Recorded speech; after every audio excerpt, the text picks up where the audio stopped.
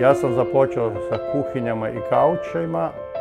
Paralelno sam to razvijal i ovoga, tržište je tražilo sve više kauča jer je bila tradicija proizvodnje kauča. Kasnije su ljudi počeli tražiti francuske krevete, fotelje i ostali tapecirani namještaj.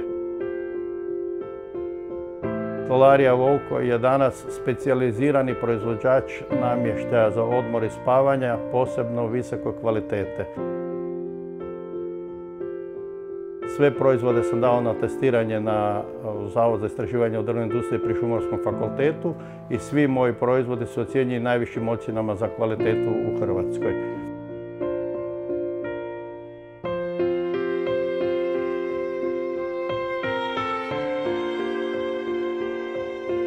Najdraže mi je priznanje da je moja krevetna konstrukcija uvrštena u sveučilišni udžbenik koji je bio ovoga proglašen za znanstveni udžbenik u Republici Hrvatskoj 2010. godine od profesora Grbca. E, udžbenik se zove Krevet i zdravlje i tamo je moja krevetna konstrukcija uključena kao e, stručni dio teksta i danas ovoga studenti na fakultetu između ostalog uče i krevetnu konstrukciju Vouk što je za jednog obrtnika ovako kakav sam ja najveće priznanje koje se može postići.